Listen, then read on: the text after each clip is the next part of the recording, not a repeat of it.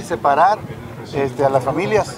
Los niños, por eso, por eso es que no van a haber clases este, presenciales, porque los niños eh, pueden contaminar todavía, a contagiar más eh, esto si no, si no tenemos cuidado Mexicali.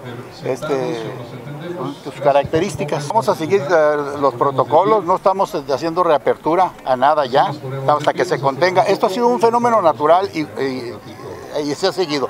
Cada vez que hacemos un poquito de reapertura, se sube el contagio.